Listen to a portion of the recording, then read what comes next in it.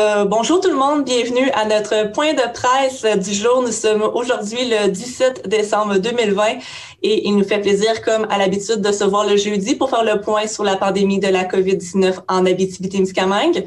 Pour ceux qui ne me connaissent pas encore, mon nom est Anne-Marie Trépanier. Donc, trois porte-paroles aujourd'hui pour euh, ce point de presse. Premier porte-parole, Madame Caroline Roy, euh, présidente directrice générale du CIS de la BTB-Témiscamingue. En deuxième lieu, nous avons Dr Lise Landry, directrice de santé publique. Et pour finir, Dr Omobola Benjo, elle aussi de la santé publique. Donc, euh, sans plus attendre, je, laisse, je laisserai maintenant la parole à Madame Roy.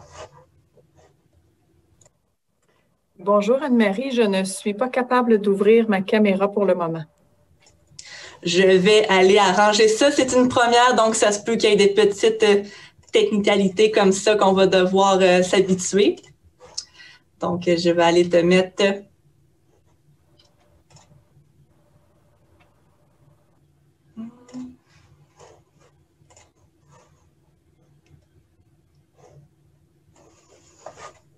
Merci beaucoup. Donc, encore une fois, c'est toujours un plaisir de m'adresser à vous euh, pour ces points de presse hebdomadaires en contexte de pandémie de la COVID-19.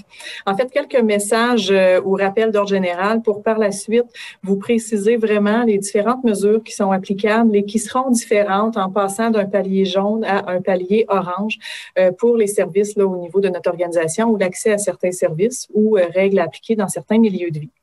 Euh, donc, dans un premier temps, je tiens à le rappeler, je sais qu'on l'a déjà fait à maintes reprises, mais même en période de pandémie, même en période de réorganisation temporaire de nos services, il est possible et euh, il est attendu que vous puissiez consulter vos professionnels de la santé, que ce soit les médecins, que ce soit les autres professionnels, quand vous en ressentez le besoin, quand votre situation de santé le nécessite aussi.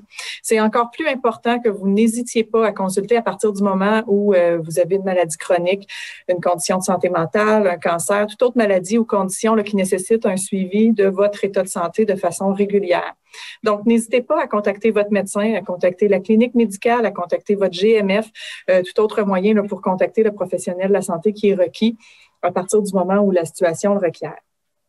Euh, autre élément que je souhaitais aussi rappeler, euh, c'est un message de civilité et de respect qui est bon pour tous, qui est bon pour l'ensemble de la population euh, à partir du moment où les gens se présentent pour avoir accès à nos services. Donc, on le sait, dans le contexte actuel, soit par la mise en place de certaines mesures propres aux mesures sanitaires liées à la pandémie, soit pour certains délais là, qui, qui se sont accumulés pour l'accès à certains services ben, se peut qu'on attende un peu plus longtemps pour avoir soit une ligne téléphonique ou qu'on puisse avoir accès à un rendez-vous.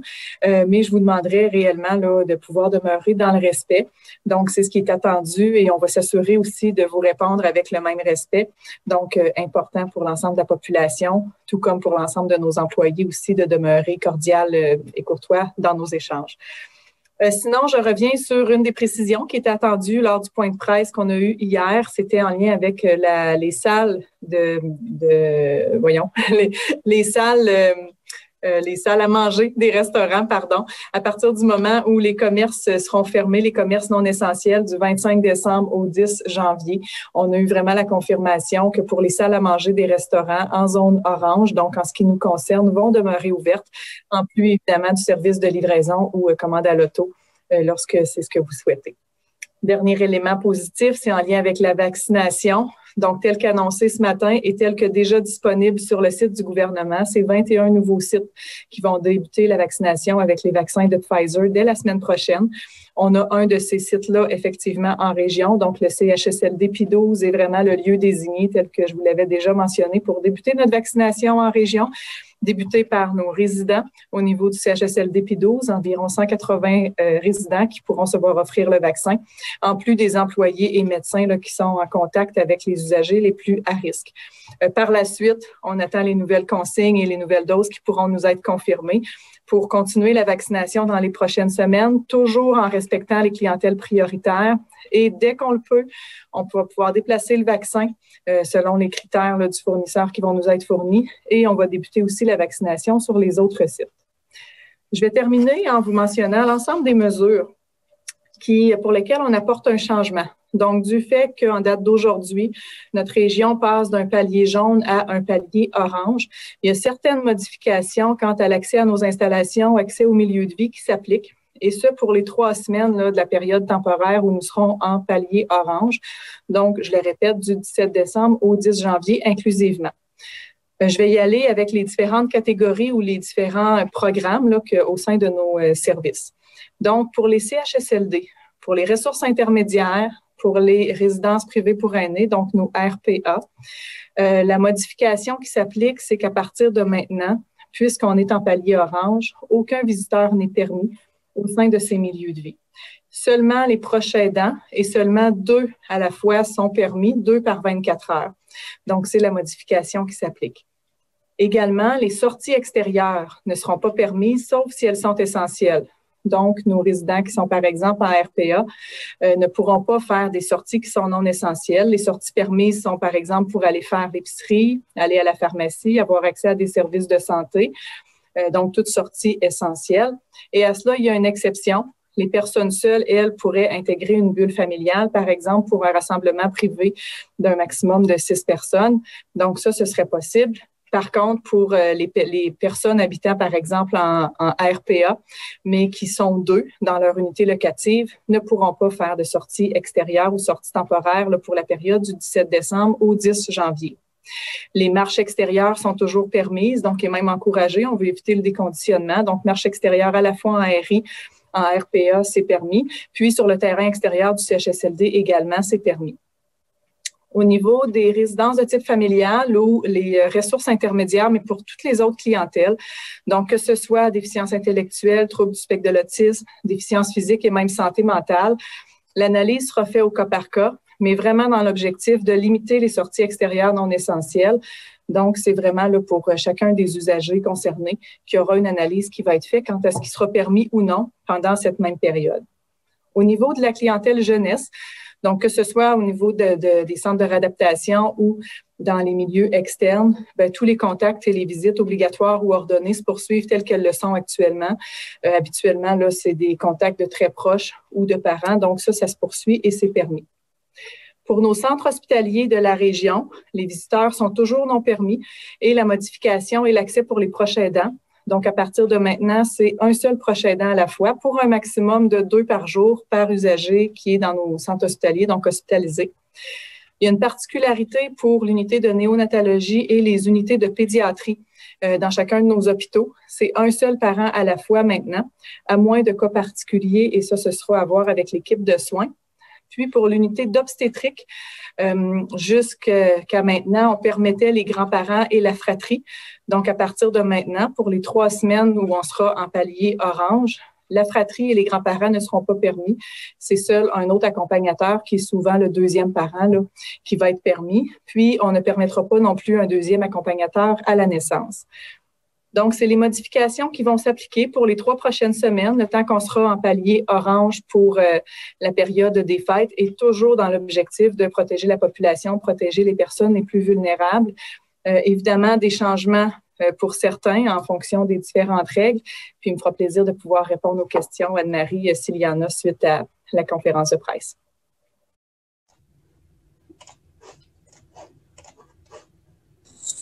Merci beaucoup, Madame Roy. Donc, euh, je vais maintenant passer la parole à Dr. Euh, Lise Landry. Je tente à l'instant même euh, de pouvoir lui donner la parole, donc ça ne sera pas trop long. Je crois que la vidéo également ne s'active pas. C'est pas grave. On vous entend très bien, docteur Landry.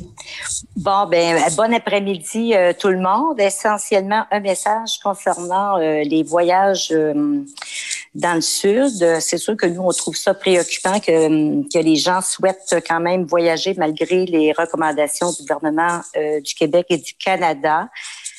Qui ont répété à maintes reprises qu'il n'est pas recommandé de voyager à l'extérieur du pays on, sait que tout voyage non essentiel devrait être reporté. Euh, donc, si les personnes décident d'ignorer ces recommandations-là, ils devraient savoir que tout, lorsque vous revenez d'un séjour à l'étranger, toute personne doit obligatoirement s'isoler pour une période de 14 jours. C'est très important. Ils devraient aussi avoir une assurance personnelle qui couvre les frais engagés pour euh, leur santé à l'extérieur du pays au cas où. Et euh, les restrictions imposées par les compagnies aériennes commerciales peuvent aussi vous empêcher de monter à bord de l'avion si vous présentez des symptômes de la COVID au euh, retour. Et aussi en complément, hier, on, on parlait que les déplacements interrégionaux des zones rouges à orange allait être interdite. Nous sommes toujours en attente du, décret. Ce matin, euh, j'étais avec l'Organisation régionale de sécurité civile. Il y avait là le ministère de la Sécurité publique, euh, représentant du ministère des Transports. Eux aussi sont en attente du décret. Ils sont prêts à, appliquer euh, au cas où. Ils ont déjà des points de contrôle en tête. Tout est planifié. Mais comme nous tous, ils sont en attente du décret. voilà. Merci. Merci beaucoup, Dr. Landry. Donc, je tiens simplement à m'excuser pour le problème technique des caméras. C'est la première fois qu'on tente une diffusion en direct sur notre page Facebook avec le webinaire. On va apprendre tous en même temps. Donc, sans plus attendre, je passe maintenant la parole à Dr. Omobola Sobenjo. Bonjour, bon après-midi. Euh, merci d'être présente pour, euh, pour participer à cette point de presse. Donc, pour les données épidémiologiques, dans les derniers 24 ans, nous n'avons pas eu de nouveaux cas confirmés. Donc, nous avons toujours 126 cas confirmés depuis le début de la deuxième vague en Abitibi-Témiscamingue. Et de ce nombre, nous nous n'avons que 9 cas actifs actuellement, aucune personne hospitalisée et nous n'avons pas eu de décès depuis le début de la deuxième vague. Pour le nombre de tests qui a été effectué dans les sept derniers jours, c'est 1000 342 tests qui ont été effectués. Donc, on continue à avoir des tests de dépistage, mais heureusement, le nombre de cas confirmés, le nombre de personnes qui reçoivent un résultat positif sont à la baisse, espérant que cela se poursuit au cours des prochains jours et semaines. Merci beaucoup. Merci beaucoup, Dr. Sebanjo, pour euh, ces précisions. Nous serons maintenant rendus à la période de, questions. Pour les journalistes qui souhaitent poser leurs questions, je vous invite, s'il vous plaît, à lever la, petite main euh, dans le chat. Comme ça, je vais pouvoir vous donner le droit de parole. Donc, j'avais déjà des premières mains levées. Ou sinon, comme à l'habitude, bien sûr, vous pouvez poser vos questions par écrit. Ça va me faire plaisir de dire à voix haute. Donc, euh, je vais commencer à céder les droits de parole à l'instant même. Je vous demanderai bien sûr, avant de poser vos questions, de bien vouloir vous euh, identifier, donc indiquer votre média et votre nom. Merci.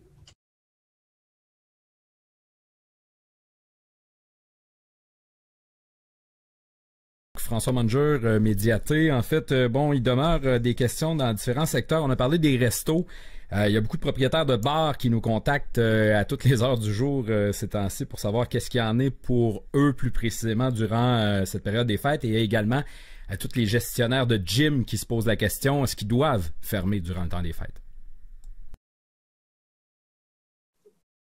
Pour le, pour le bar, nous n'avons pas plus de précisions sur ce qui est disponible sur le site web, c'est-à-dire les salles à manger, peuvent demeurer ouverts. Donc, ceux qui ont salle à manger en respectant des consignes peuvent demeurer ouverts.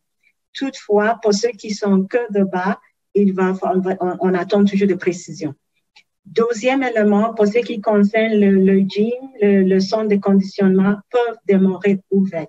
Mais il y aura des consignes, et ces consignes ont déjà été transmises d'ailleurs, pour faciliter le, pour, s'assurer quel, quel type des activités sont permis, mais l'utilisation de ces installations seules ou avec des encadrements précisés dans les documents de, de, consignes transmises par la Fédération des loisirs et sport est possible. Donc, le gym peut demeurer ouvert pendant cette période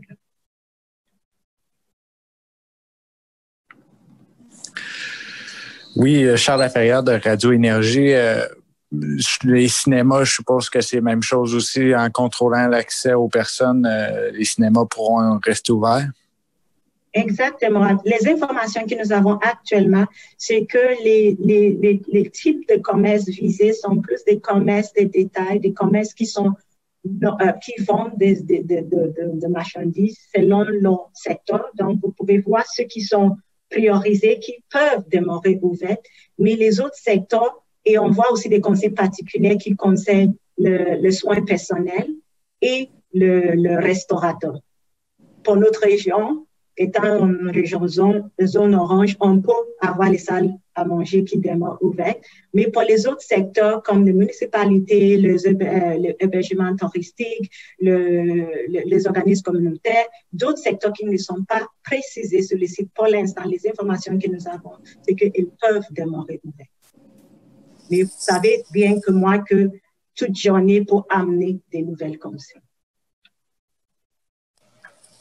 Annie-Claude Luneau de Radio-Canada. Euh, j'aurais euh, des questions euh, plus précisément sur l'interdiction de, changement de zone. parce que hier, sur le site, on indiquait qu'il y avait une interdiction de, déplacement entre les zones rouges et les zones oranges pendant la période là, du, 17 décembre au 11 janvier. cette information-là est disparue du site Web. là, on, on, parle plutôt de non recommandé. Là, vous nous dites qu'on est en attente d'un décret. J'aimerais qu'on fasse la lumière un peu sur est-ce que c'est permis, est-ce que c'est non recommandé ou est-ce que c'est interdit? Parce qu'il y a quand même une nuance. Ben, pour l'instant, ce que nous savons, ah, la vidéo va marcher. Euh, pour l'instant, ce que nous savons, c'est euh, de rouge à orange, c'est interdit. Ah, écoutez, ça peut avoir changé aujourd'hui, puis qu'on va peut-être le savoir ce soir à 16 heures.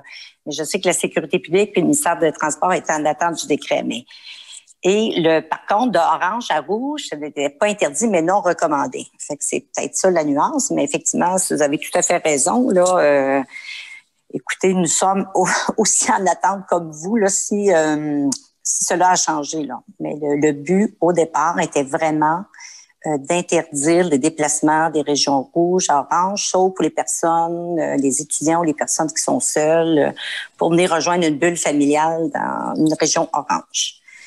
Et en mettant des points de contrôle, c'est ça. Le but, le, but c'est les points de contrôle. Oui, mais c'est ça.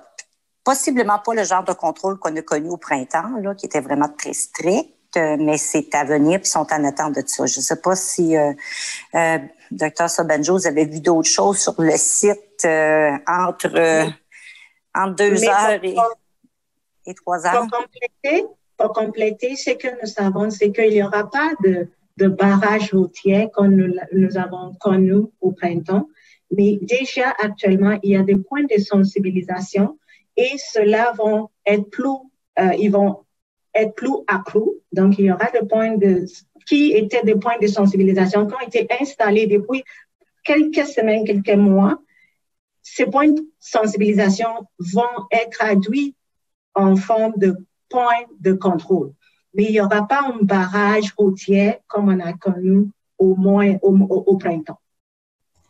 Donc, ça répondait euh, du même coup à la question écrite de Marie-Hélène Daigneault de RNC Media qui nous demandait, on dit attendre un décret, alors la possibilité d'avoir des barrages érigés dans, euh, dans la région est bien réelle. On pourrait avoir des barrages prochainement. Dr. Sebanjo et Dr. Landry ont en effet déjà répondu à cette question.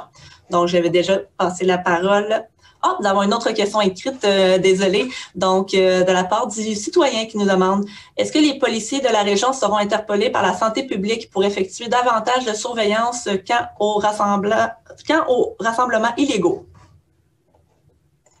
Déjà, la, euh, du Québec, le policier travaille étroitement avec nous depuis, c'est-à-dire, dès qu'il y a un décret, ils ont le mandat de pouvoir agir au nom de la santé publique ayant le décret. Donc, c'était déjà prévu qu'il y aura plus de, de, surveillance pendant la période des fêtes. Et s'il y a des instances, s'ils constatent des instances ou des endroits où il y a des rassemblements qui dépassent des, des, des consignes qui ont été déterminées, diffusées, c'est-à-dire plus de six personnes dans un lieu privé, ils peuvent intervenir.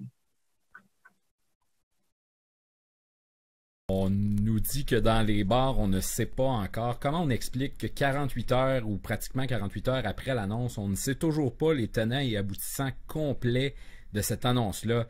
Il y a des propriétaires de bars qui nous ont écrit et ils sont très nombreux qui se disent là, nous, on doit faire des commandes pour le temps des fêtes, on doit se préparer, on doit préparer notre staff. Et à chaque jour, on leur dit on ne sait pas, on ne sait pas, on ne sait pas et on repousse comment ça se fait qu'on n'est pas plus précis puis qu'on n'a pas plus d'infos en ce moment sur des annonces qui ont été faites il y a pratiquement 48 heures? On peut comprendre leur frustration et je pourrais vous mentionner que le, site est mis à jour assez fréquemment. Deuxième élément, c'est que le, le, le, secteur, comme ça l'était au printemps, les secteurs qui sont visés, lorsqu'on a une telle liste, c'est souvent le ministère, c'est sous la les compétences du ministère de l'économie et de l'innovation. Donc, aux autres, s'ils ont des questions, ils peuvent également adresser leurs questions aux, intervenants, au ministère de l'économie et aux autres vont pouvoir préciser. Aussi, ils peuvent écrire et demander des précisions aussi sur le site pour avoir plus d'informations. Mais je sais qu'il y a un peu de délai, ça prend un peu plus de temps, mais ces précisions vont arriver. C'est un peu plus long et ça peut être euh, difficile pour certains, mais les informations vont venir. Et si les gens veulent vraiment avoir, ils peuvent aussi contacter le ministère de l'économie pour avoir plus de précisions sur comment c'est considéré leur établissement, surtout pour ceux qui ont bar, mais aussi ont salle de manger. Les petites, les, précisions comme ça viennent plus, ils sont mieux placés de clarifier ce type de précisions que nous en, santé publique. Euh, j'ai peut-être, euh, c'est peut-être moi qui comprends mal, mais pouvez-vous me faire, me faire la précision entre c'est quoi un le barrage routier, la différence entre les barrages routiers qu'on avait dans le temps et les points de sensibilisation qu'on risque d'avoir? Est-ce que les policiers vont arrêter les gens et demander où ils qu'ils vont quand même ou ça va juste être euh, des panneaux qui indiquent, euh, rappelez-vous qu'on signale que c'était peut-être soit interdit ou non recommandé? C'est quoi la différence? C'est quoi qu'il qui pourrait avoir là, si c'est pas les barrages comme on avait dans le temps? Donc, le point de sensibilisation sont là déjà. La seule différence, c'est quand c'est appelé point de sensibilisation, lorsqu'il il, intercepte quelqu'un, ils peuvent demander leur raison pour leur déplacement. Mm-hmm. Ils peuvent le sensibiliser en disant ce n'est pas recommandé. Mais avec une interdiction, ils auront le droit de pouvoir retourner la personne si la personne vient pour une raison qui n'est pas essentielle. Et même euh, pour compléter, en complément, ils nous ont même dit qu'ils pourraient, les gens pourraient avoir une amende. Mais écoutez, comme je vous dis, c'est sur toute réserve. On n'a pas vu le décret encore. Mais les personnes seules seraient toujours autorisées à se déplacer. Euh, oui. Eux autres seraient comme considérés presque essentiels, euh, comme, comme les travailleurs essentiels. Oui. oui, effectivement. Tout à fait. Oui, bonjour. Moi, j'aurais euh, une question aussi sur la vaccination. Donc, on a dit qu'on commençait au CHSLD P12 à compter de la semaine prochaine. Est-ce que vous espérez avoir vacciné les 180 résidents avant la fin du mois? Quel, quel est l'échéancier que vous avez? Puis aussi, pourquoi ce site-là plutôt qu'un autre? Bon, on aurait pu penser à la Vallée de l'Or puisque c'est là où il y a le plus de cas actifs en ce moment. Euh, comment a été fait ce choix-là? Euh, ben, pour la première question, oui. Euh, dès les premiers jours de réception du vaccin, dès qu'on le reçoit, on va être capable de débuter la vaccination. On est prêt. Le site est prêt. On a des piqueurs, donc des gens qui peuvent vacciner, qui sont prêts. On attend les vaccins et on débute la vaccination. Donc, on devrait avoir complété l'ensemble des résidents vaccinés dès les premiers jours avant la fin de l'année 2020. Euh, pourquoi avoir choisi le CHSLD P12? Principalement deux raisons. La première clientèle prioritaire sont les résidents de CHSLD le CHSLD P12 est l'endroit où on en a le plus. On a 180, un peu plus, le résidents de CHSLD à ce lieu-là. Sachant qu'on ne peut pas déplacer le vaccin, c'est vraiment le lieu qui nous permet d'en vacciner davantage. Et autre élément, Rouen-Noranda est l'endroit où on a notre centre désigné COVID.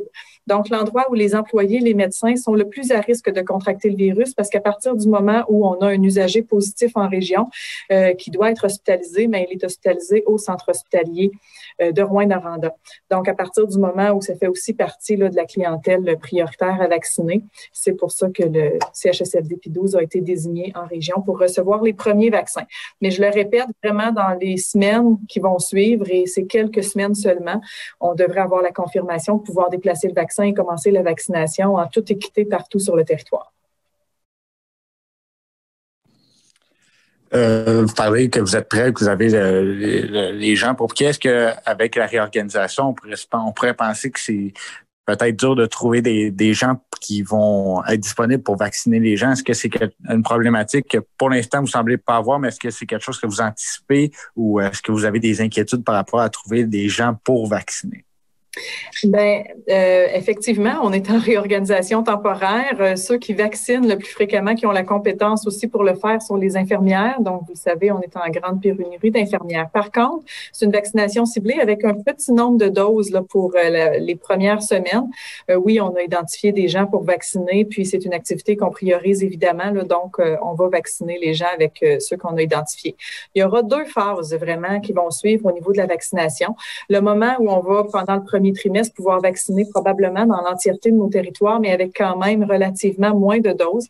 À ce moment-là, oui, euh, on aura un enjeu de main-d'œuvre, puis on va déjà commencer à regarder bien, quels autres types d'emplois on va pouvoir utiliser parce qu'il y a un, décret actuellement qui nous permet d'avoir accès à une trentaine de types d'emplois autres. Puis donc, on peut solliciter euh, de la main-d'œuvre à l'externe de l'organisation. Il y a vraiment plusieurs types d'emplois qui pourront être formés puis vraiment qualifiés pour être capables de faire la vaccination. Dans le deuxième trimestre de l'année 2021, là, c'est un beaucoup plus grand nombre de doses qu'on attend, probablement aussi avec plus d'un vaccin peut-être plus de deux vaccins. Euh, donc, une vaccination qui va ressembler davantage à une vaccination de masse. Et là, ce sera nécessaire d'avoir accès à des piqueurs, d'autres types d'emplois, parce que ce qu'on va vouloir, évidemment, c'est vacciner le plus rapidement possible dès qu'on a accès à des vaccins. Et dès qu'on a utilisé nos doses, ben, on est capable de lever la main pour dire ça nous en prend d'autres, puis pouvoir continuer notre vaccination, et c'est ce qu'on souhaite. Docteur Landry, je ne sais pas si vous souhaitez compléter. Oui, ben la, seule chose que je voudrais compléter, il y a beaucoup de retraités euh, qui vont participer à la campagne de vaccination. D'ailleurs, c'est pour ça qu'on peut commencer aussi rapidement puis vacciner autant de qu'on va pouvoir écouler nos doses assez rapidement parce qu'il y a des retraités qui ont levé la main, qui ont participé à notre campagne de vaccination influenza puis qui sont mis disponibles pour euh, cette campagne-ci. Alors, c'est c'est très bien. J'aimerais revenir euh, brièvement sur les règles pour les milieux de vie, donc résidence privée pour aînés, CHSLD. Euh, je pense entre autres au, RPA, là, où il y a quand même des, centaines de personnes en Abitibi-Témiscamingue euh, qui n'avaient pas nécessairement vu venir les restrictions alors qu'on était au jaune encore là, dans les derniers jours. Est-ce que vous vous inquiétez pas pour la santé mentale de certaines de ces personnes-là? Parce que ça, ça va être un temps des fêtes très difficile quand même pour, pour elles? Euh, ben, la préoccupation pour la santé mentale, également le déconditionnement, on l'a toujours. On l'a depuis la première vague. Vous vous souvenez qu'on avait même fait un projet novateur là, au niveau des animateurs bonheur dans les RPA pendant la période estivale où vraiment le confinement était plus important. Euh, c'est une période de trois semaines, donc il faut se dire qu'on a d'autres moyens technologiques qu'on va s'assurer de pouvoir, euh, avec les, les, gestionnaires ou les propriétaires des RPA, et ce, dès demain, prendre contact puis regarder qu'est-ce qui est possible pour faciliter le maintien d'un contact, même s'il n'est pas en personne, pour les personnes qui vivent dans des unités locatives de deux personnes, parce que c'est ceux qui sont concernés par la mesure particulièrement. Euh, mais il faut se dire aussi que c'est les gens les plus vulnérables. Fait qu'à partir du moment où ces gens-là contractent le virus, puis évidemment qu'ils le rapportent aussi au sein de la résidence privée, ben ça peut avoir un effet assez important sur l'ensemble des autres personnes qui habitent le milieu de vie. Euh, donc oui, une préoccupation qui est réelle, qui est là, qu'on maintient depuis le début si on le fait bien, si on respecte les mesures, que tout le monde les respecte, dès le 11 janvier, on va rouvrir avec nos mesures qui sont permises en palier jaune, puis on aura évité des transmissions, puis potentiellement des éclosions dans ces milieux-là. Et comme je le mentionne, dès demain, on a des rencontres avec les propriétaires, les gestionnaires des résidences, des milieux de vie, pour pouvoir leur expliquer les différentes mesures, valider avec eux les éléments facilitateurs aussi pour en assurer l'application, euh, puis le contact à maintenir avec les familles ou les proches pendant cette période de trois semaines. Toute euh, précision que j'aimerais avoir concernant les naissances. Euh, donc, est-ce que j'en comprends qu'il y a un, un, seul, dans le fond, le père peut toujours assister à la naissance d'un enfant si un enfant né pendant la période des fêtes euh, qu'on va vivre présentement? Oui, toujours. Donc, euh, il y a toujours un accompagnateur qui est permis. On avait ouvert à plus d'un accompagnateur, donc un deuxième accompagnateur était permis pour euh, l'accompagnement à la naissance. Maintenant, c'est un seul. Puis l'autre différence pour euh, ces unités-là d'obstétrique, c'est réellement la présence des grands-parents ou de la fratrie. Donc, les, les grands-parents ou la fratrie vont devoir attendre le congé de la maman et du bébé avant de pouvoir les voir, là, tout en respect des différentes mesures avec nos rassemblements privés d'un maximum de six personnes. Dernière question, promis. Euh, sur les lieux de culte, messe de minuit, on a des questions aussi à ce sujet-là. Combien de personnes vont être admises euh, dans les lieux de culte? Est-ce qu'ils devront fermer à partir du 25 décembre? Qu'est-ce qu'on sait à ce moment-ci? Donc, euh, c'est comme c'est que pour l'instant, le milieu de culte ne sont pas visés. Donc, ils peuvent avoir jusqu'à 250 personnes en respectant les consignes qui sont déjà connues, ils ont dit là-dessus. Donc, il faut une distanciation de au moins 1,5 mètres euh, entre les personnes lorsqu'ils sont assises. Surtout, il y en a des endroits où ils peuvent mettre des personnes qui viennent de même adresse ensemble et garder une distance de 1,5 mètres entre quelqu'un de notre bulle familiale. également, ils doivent s'assurer de porter de couvre-visage, de masque lorsque les gens sont en déplacent dans le lieu. également, ils doivent savoir un contrôle de la foule à l'extérieur, euh, à la porte. Donc, il y aura pas de, il faut pas que les gens attendent pour se regrouper. Il ne devrait pas avoir de, de, de, points d'englement. Euh, donc, il faut appliquer strictement des mesures qui sont déjà connues, mais il faut faire plus d'attention parce qu'on sait que des fois, pour, le, pour les messes de, de, de, Noël ou de, de prière des fêtes, il y a plus de personnes qui veulent participer. Donc, il faut une vigilance accrue et une utilisation, une application rigoureuse de mesures pour prévenir la propagation du virus. Est-ce qu'on avait d'autres questions de la part des journalistes? Je regarde sur le chat, je vois qu'on n'a plus rien. Avant de quitter, nous avons deux petits messages généraux pour vous. Pour le premier, durant la période des fêtes, les données COVID-19 seront euh, rendues publiques sur notre site web et sur notre page Facebook lors des journées euh, ouvrables et non euh, lors des congés fériés ni durant les fins de semaine. Donc, pour ceux qui veulent les données, ça va se passer sur notre page Facebook et notre, et notre site web lors des journées ouvrables de bureau. Euh, pour les points de presse, euh, considérant le congé du temps des fêtes, donc de Noël et du jour de l'an, le prochain point de presse, à moins bien sûr d'un avis contraire, serait le 7 janvier prochain. Donc, comme à l'habitude, on vous remercie grandement d'avoir participé euh, aujourd'hui à ce, à ce point de presse et on se revoit le 7 janvier prochain. Merci beaucoup tout le monde. Au revoir. Merci beaucoup. Joyeuses fêtes. Alors voilà, mesdames, messieurs, ce qui conclut euh, ce point de presse du euh, CISAT qui vient tout juste de se terminer. On le voit qu'il y a encore des euh, questions qui demeurent sans réponse. Bon, il y a l'Association des restaurateurs du Québec qui semble avoir reçu des réponses de la part du gouvernement qui, eux, de leur côté, semblaient dire que les bars allaient pouvoir rester ouverts. Du moins, c'est l'information qu'ils ont laissé couler à l'ensemble des restaurateurs et euh, propriétaires de bars. Euh, par contre, le CISAT qui est toujours incapable de nous dire si oui ou non les bars pourront être ouverts. On nous a confirmé que les restos pourront être ouverts du 25 au 11 avec une capacité euh, bon limitée au niveau des tables. On passe euh, à 6 personnes. Il y a les gyms aussi qui vont pouvoir euh, demeurer ouverts durant la période des fêtes. Donc vous allez pouvoir faire passer votre petite tourtière ou votre petite dinde dans les gyms. Mais encore beaucoup de questionnements qui se posent. On n'a pas de précision sur les barrages entre les régions. On n'a pas de précision sur l'ouverture possible des bars. On va tenter d'avoir de l'information dans les prochaines journées, mais j'ai l'impression que ce sera pas nécessairement facile. On va essayer de vous faire le suivi là-dessus. Alors, mesdames, messieurs, je vous souhaite une excellente fin de journée. On se retrouve très prochainement pour euh, d'autres bulletins spéciaux. On va vous présenter s'il y a d'autres points de presse dans le temps des fêtes, on vous les présentera. Sinon, on sera là également pour couvrir l'actualité. Rendez-vous sur le médiaté.ca et allez télécharger l'application Médiaté Plus également sur le App Store et sur le Android Store.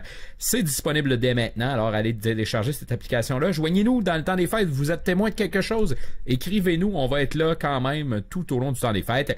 Et ne manquez pas également un spectacle en cadeau le 24 décembre à 20h. Ça se passe autant sur la page Facebook euh, de Médiaté que sur Médiaté Télé, anciennement TVC7 et Radio Boréal. Ce spectacle-là va être disponible à 20h pour tout le monde en même temps. On a travaillé très fort pour vous et pour vous présenter ce spectacle-là. Donc ne manquez pas ça. Mesdames, Messieurs, là-dessus, je vous souhaite une excellente fin de journée.